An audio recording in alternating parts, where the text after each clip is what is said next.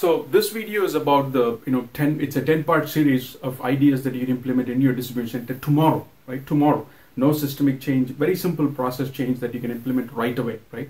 Um, and, and you don't have to spend a lot of money to do this. And we already finished nine videos and hopefully you got a chance to look at all of them and uh, implement some of the ideas. We'd love to hear your thoughts and how those worked out for you.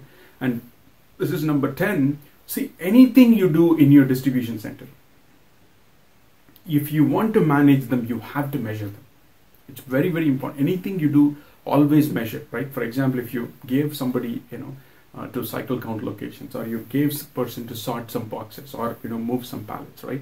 Always measure, always measure, because without measuring, you cannot manage, right?